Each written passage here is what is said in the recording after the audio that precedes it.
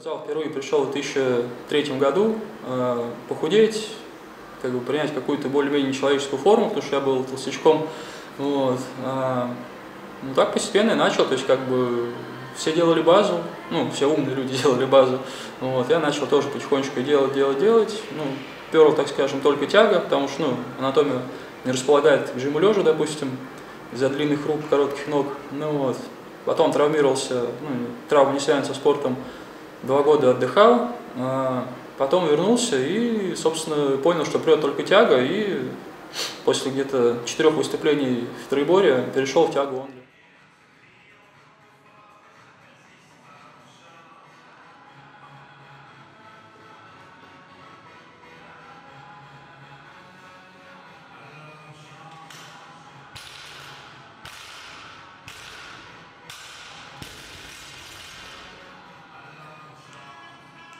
По программе я занимаюсь по своей, ну, немножечко переделка веб-сайта, ну, естественно, адаптация под себя, так называемый биберевый сайт.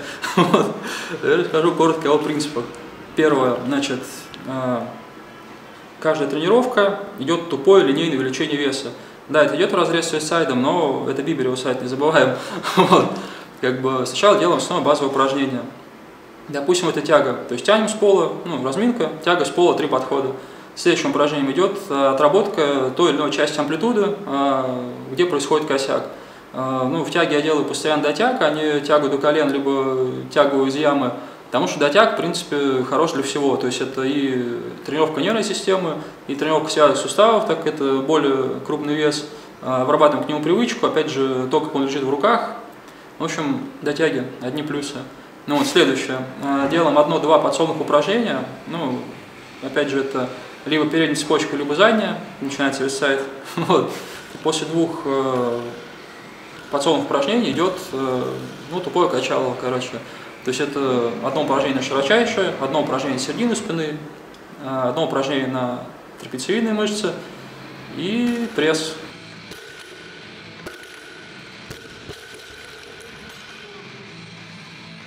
Почему в натурашку? Э, ну, тоже причин несколько. Вот, во-первых, но у меня пока получается прогрессировать и без химии, это раз. Во-вторых, э, будучи врачом клинической лабораторной диагностики, я каждый день вижу анализ людей, э, в частности их биохимию, которая и без того ужасна, без всякой химии. Соответственно, это пока что отталкивает меня от этого приема. я как бы не против химиков, пожалуйста, но для себя я пока не готов принимать э, ну, как бы от этого не зарекаюсь в будущем, но подождем, как минимум подождем. Почему не уступаешь в ВПФ, ВПР? А, ну, что я могу сказать? На это несколько причин. так, первое. Но, во-первых, там категория 93, я же влезаю в категорию 90. А, то есть, чтобы выступать в категории 93, мне нужно весить, ну, где-то примерно под сотку. Ну, я как бы не готов на такие жертвы. Значит, вторая причина. Само по себе оборудование. А, гриф, он помимо того, что менее эластичный, он еще и узкий. Соответственно, с моей широкой стойкой а, мне неудобно будет реализовать все мои так называемые углы, которые наработаны многолетним опытом. То есть это мне ну, просто не физиологично. А, следующая причина в IPF как, как таковой добрый контроль на всех соревнованиях. Ну, вот. Однако на чемпионате Мутич люди собирают около тонны и ну, короче, все мы знаем, что такое контроль, и я не согласен с этим. Вот. Это, конечно, у всех забомбит, но что поделать. Ну, вот. И еще одна причина. А, я на данный момент выступаю только в тяге, то есть не троеборье. А, соответственно, такого а, дивизиона, как тяга отдельно, в IPF и ПР нету. Ну, в принципе, и все.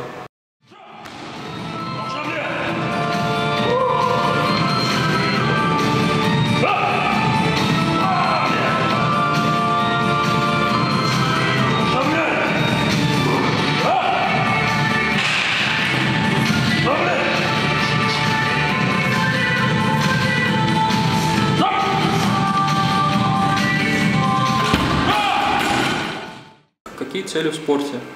Так, ну в спорте по тяге официально на соревнованиях 700 и более фунтов, то есть это 317,5 и выше. А, в приседе, ну пока не выступаю в троебой, но тем не менее, а, присесть более-менее в угол 500 фунтов, то есть 227,5 и более. А, ну, пожать хотя бы 150, то есть ну, вернуть что-то типа около своего результата. Лучше у меня жим 100, 155, но это зал, отбив и отрыв. И сейчас жму только узким хватом, так как был три отрыва, надрыв грудной. А, ну, оставаясь, будучи натуральным и весом 90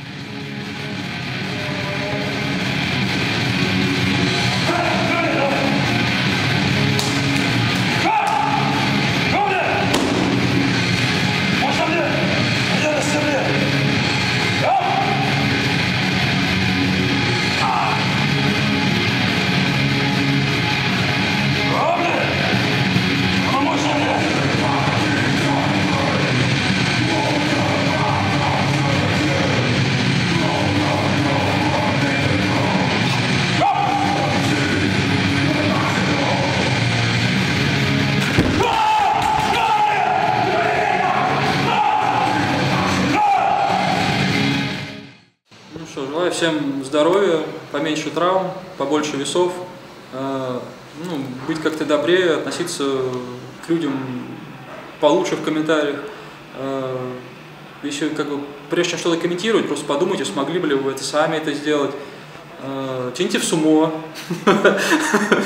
тяните в классике, ладно, тяните в средних постановках, ну и, не знаю, счастья, здоровья, всех благ.